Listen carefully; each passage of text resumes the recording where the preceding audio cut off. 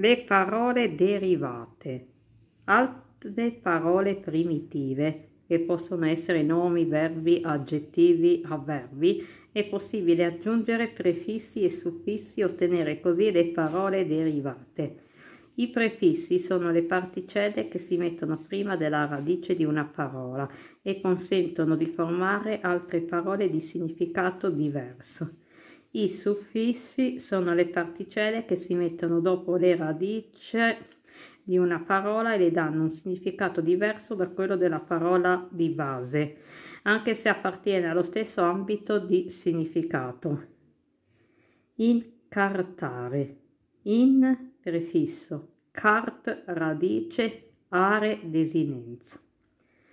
Cartolaio. Cart radice olai suffisso o desinenza.